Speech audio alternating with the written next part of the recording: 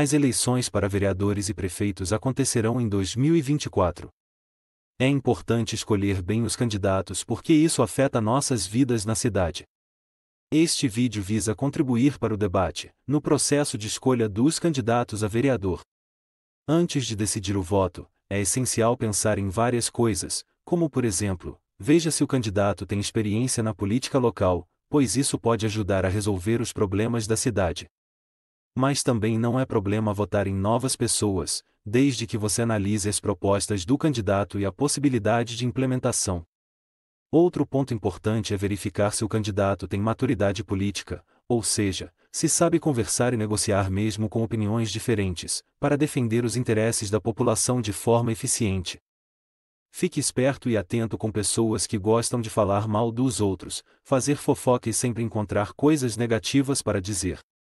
Cuidado também com aquelas que querem se mostrar como solucionadoras de todos os problemas, mas na verdade são mal intencionadas e pouco ajudam.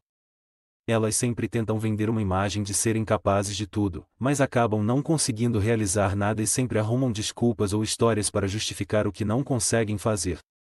Em geral, pessoas assim também tendem a ter problemas financeiros, por não saberem lidar suas vidas com autocontrole.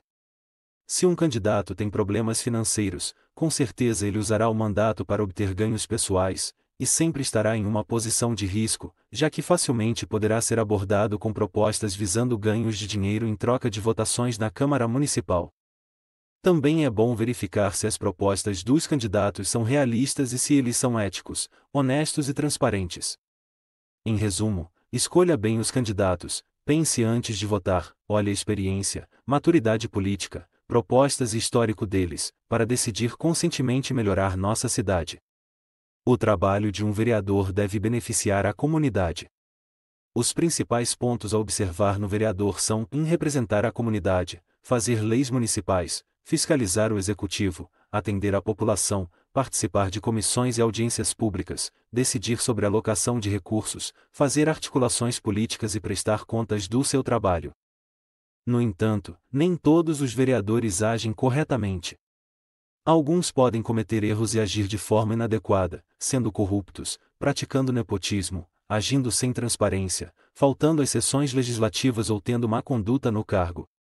Além disso, um vereador também pode cometer crimes de responsabilidade, como peculato, concussão, corrupção passiva e prevaricação. A comunidade pode ajudar a controlar e evitar que vereadores ajam errado enquanto estão no cargo. Algumas formas de fazer isso são: 1. Acompanhar o vereador de perto, participando das sessões da Câmara e sabendo o que ele faz. 2. Exigir que o vereador seja transparente, mostrando como gasta o dinheiro público e quais projetos ele apoia. 3. Fiscalizar as ações do vereador, vendo se ele está cumprindo o que prometeu na campanha e representando bem a comunidade. 4. Participar ativamente na política local, indo a reuniões, audiências públicas e se engajando em debates.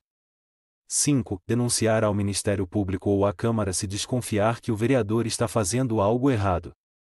6. Na hora das eleições, votar com consciência, escolhendo candidatos que realmente representem a comunidade.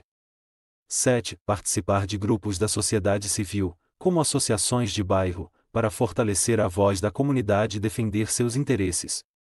Lembre-se também de considerar o partido ao qual o vereador pertence. Se o partido não defende os interesses da maioria da população, talvez seja melhor buscar um candidato diferente. E se você não encontrar um candidato que represente suas ideias, talvez você possa se envolver na política, se filiando a um partido que esteja mais alinhado com suas convicções. Assim, você mesmo pode ajudar a mudar as coisas na sua comunidade.